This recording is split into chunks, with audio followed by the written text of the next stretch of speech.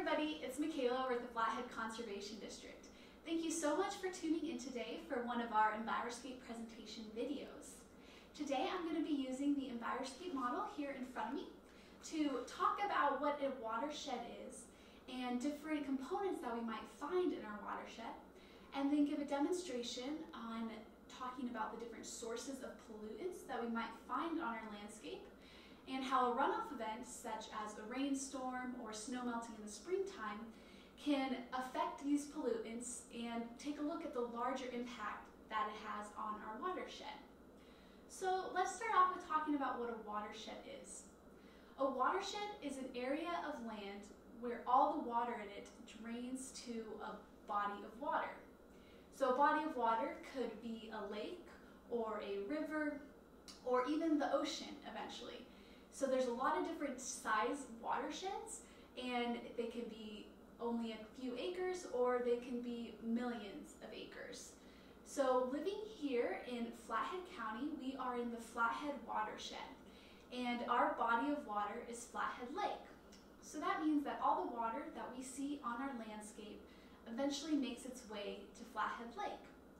Now, Flathead Lake is part of a larger watershed called the Columbia River Watershed eventually drains into the Pacific Ocean. And it's really important to remember that what we do in our watershed is going to impact the people who live below us. So to start off, let's take a look at what is in our watershed.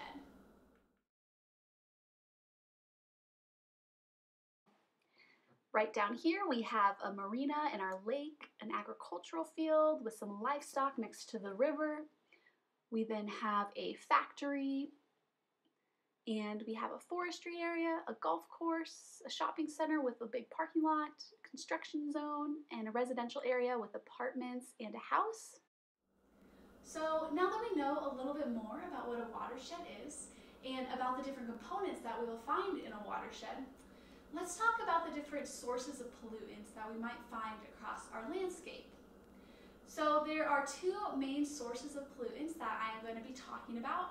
And as I describe each one, we will be, I will be placing our different pollutants here on the landscape. So the first type of pollution that we're going to find on our landscape is called point source. Now this is pollution that comes from a single point on the landscape and it flows directly from pipes or other specific points into our waterways. So this could be an industrial plant or a factory, and it's important to remember that they typically need to get a permit to allow them to discharge pollution. The next source of pollution we're going to find in our watershed is called non-point source pollution.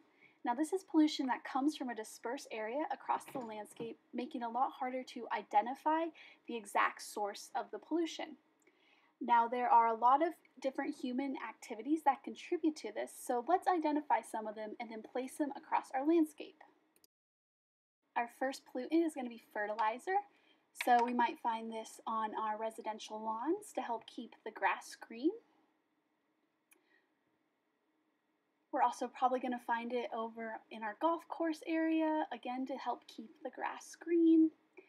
And then lastly, in our agricultural and crop area, this will help for plants to grow. Our next pollutant in our watershed is going to be pesticides.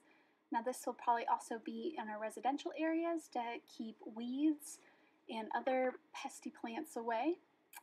Also on our golf course. And then down in our agricultural area. Our next pollutant in the watershed is going to be loose soil and sediment. So this will be found in our croplands.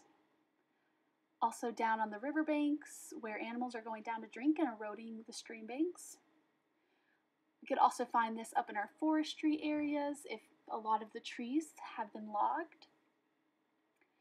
And then finally over in our construction zone uh, where dirt has been getting dug up.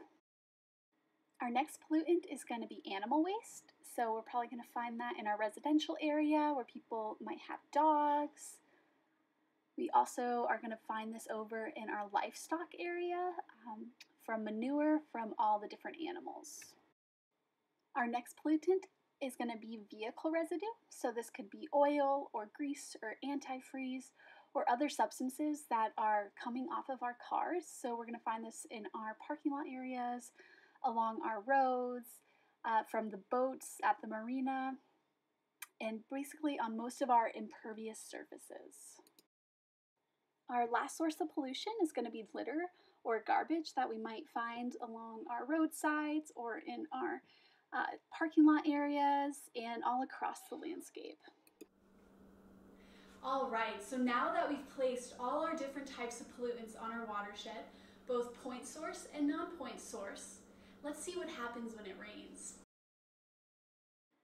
So the water that moves across our landscape from a rain event or from when snow melts is called runoff. And what happens is it is able to pick up all these different pollutants and move them down the watershed and eventually into our body of water.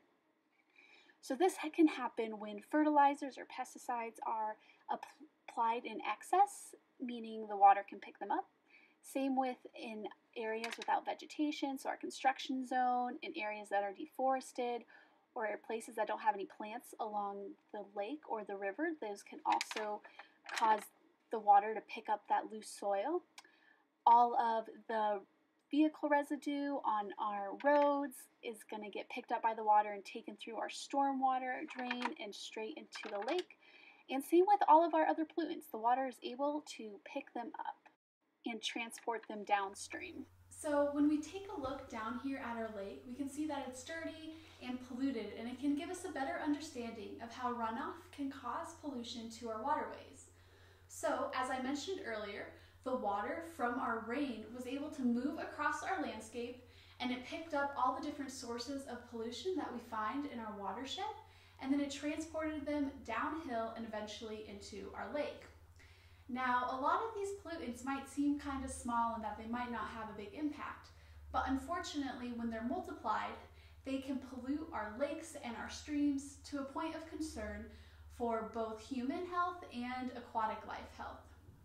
So let's talk about why some of these pollutants can be really harmful when they enter our waterways. So the first is going to be nutrients.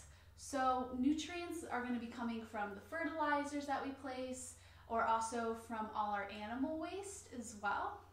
And when these nutrients uh, accumulate in our waterways, it's called nutrient overloading. And it can cause algal blooms that use up all the oxygen that is required for fish to survive. Uh, these pollutants can also contain different toxic substances, such as chemicals or metal compounds. So we might find these in our pesticides or in the oil or grease from our car that's on our roadways or from the factory discharge areas. And of course, since they're chemicals, they can poison our fish and other aquatic life. And then we also have bacteria, and this also comes from animal waste. So again, our dog poop or our livestock manure. And so when this is accumulated in the waterways, it can uh, be detrimental to both human health and to fish. And then finally, when soil gets into our water, it can make the water really cloudy, which is called turbidity. And this can make the water really hot and prevent light from getting very far in the water column. And this can kill fish and it can keep them from finding clean gravel to lay their eggs.